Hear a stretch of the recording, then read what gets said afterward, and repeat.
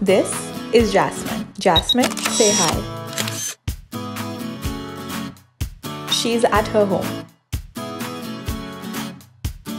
She's going to book her desk, schedule her meeting, and send invites in advance. This is Anand. He is running late. Now he can't find a place to sit. He has no clue where his meeting is.